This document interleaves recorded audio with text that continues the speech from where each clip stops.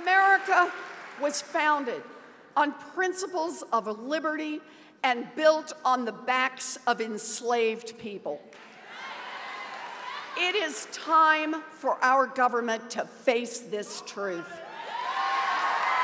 Time for America to have a full blown national conversation about reparations.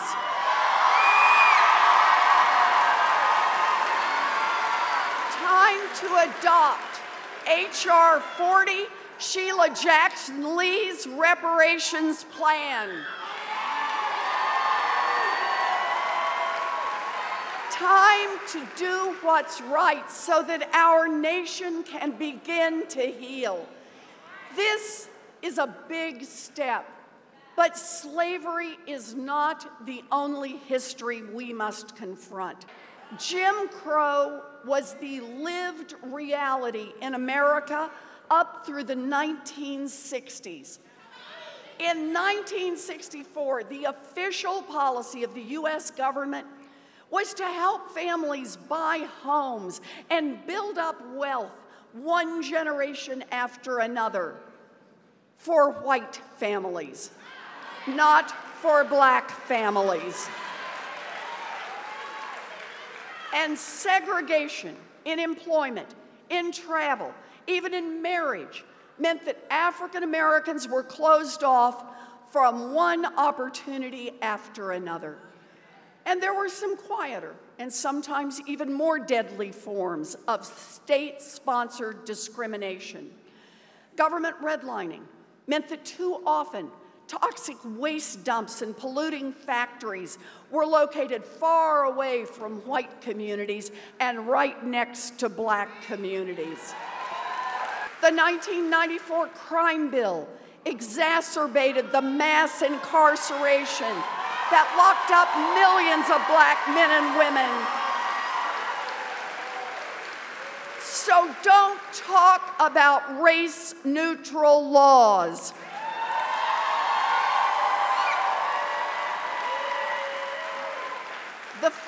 Federal government helped create the racial divide in this country through decades of active state sponsored discrimination, and that means the federal government has a responsibility to fix it.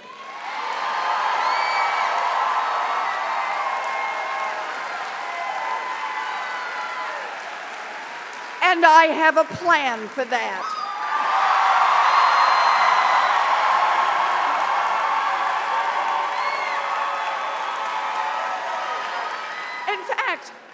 Have a lot of plans for how we can begin to fix it together. My housing plan will help families living in formerly redlined areas buy a home and start building the kind of wealth that was denied to their parents and grandparents.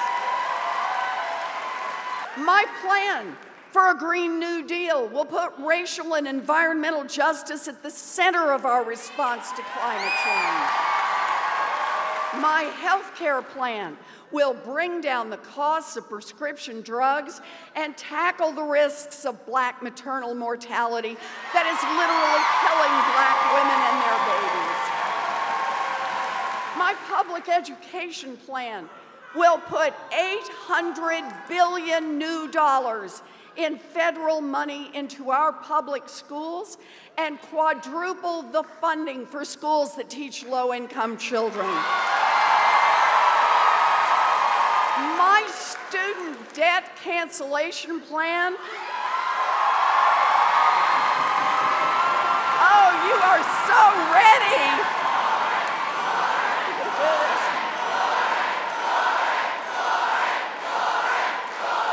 So my student debt cancellation plan will help close the black-white wealth gap in America. Just one more here. My higher education plan will invest $50 billion in historically black colleges and universities.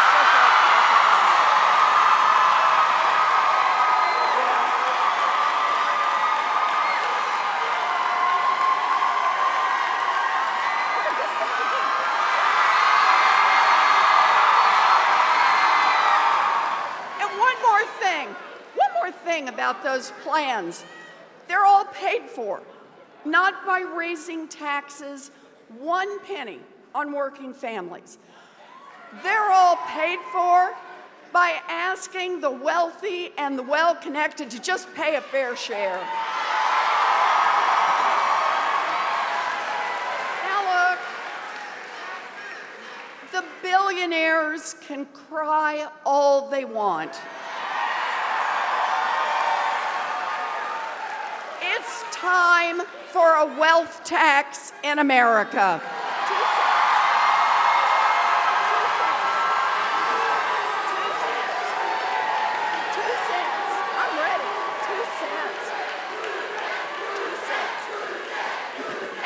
more. When it comes to protecting black women, we need to face the hard truth that black women and girls are being brutalized at alarming rates by people they know and trust. The murder of Alexis Crawford, a Clark Atlanta student, is an unspeakable tragedy, and my heart goes out to the Crawford family. Alexis's story happens every day across this country. We need to take meaningful action to protect women, particularly women of color.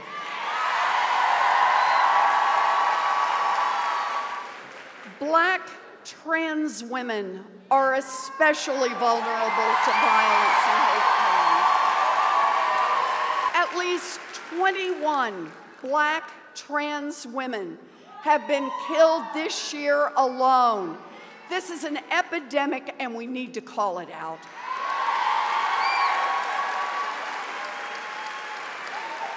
As a nation, we need to stand with and for women who face one attack after another. That also means protecting abortion access.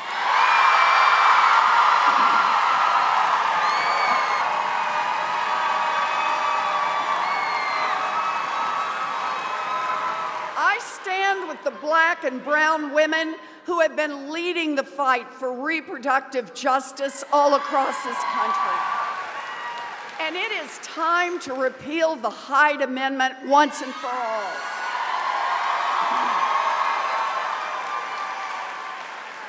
The black white wealth gap was created by decades of government sponsored discrimination on housing and employment and it's time now to close it. So here's one of my plans. When I'm in the White House, I will create a small business equity fund for entrepreneurs of color. Get out there and start a business. On day one of my presidency, I will take executive action to boost the wages of black and brown women remember the washerwomen we started this with? It is time to take up their cause. Black women today still make up a large proportion of domestic and child care workers, and those women are still overworked, undervalued, and underpaid. It's time for all of us to stand with domestic workers organizing and winning all across this country and pass the Domestic Workers Bill of Rights. Let's make caregiving jobs good jobs today and into the future. And let's extend New Deal federal labor and wage standards to include every domestic worker. Let's finish that job. I think of this as what we can do together, what we can do for each other. Child care, health care, free college, paychecks, entrepreneurship, the list goes on. African Americans have gotten the short end of the stick generation after generation. But we have a chance to change that, a chance to build an America where that's no longer true. 2020 is our chance to build a better tomorrow for every American. Building a country that works not just for those at the top, but works for everyone starts with protecting our democracy. And right now, our democracy is broken. How do I know? Because Brian Kemp is sitting in Stacey Abrams' chair. And we are all grateful to Stacey for what she's doing to make sure that never happens again in this country. Boy, Connect the dots. Voter suppression is just one more relic of Jim Crow, and we need to say so. So that's why I have a plan to strengthen voting in America. It starts with restoring the Voting Rights Act. But let's not stop there. Let's pass a constitutional amendment establishing the right of every American citizen to vote and to get that vote counted. Let's overturn every single racist voter suppression law in this country. Outlaw partisan gerrymandering. And let's overturn Citizens United. Democracy is not for sale. And there's more.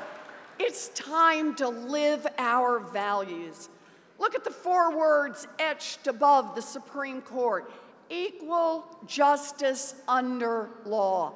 But justice is not equal in America. We all know and say the names of those whose lives have been cut short with callous indifference by law enforcement.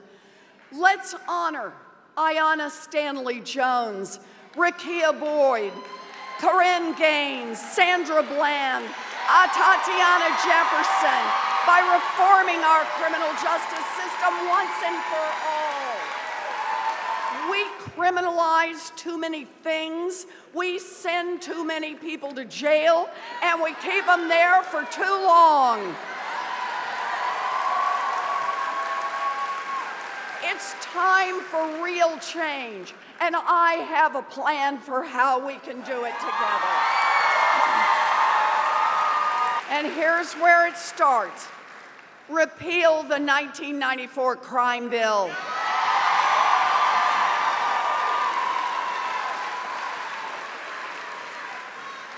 Legalize marijuana.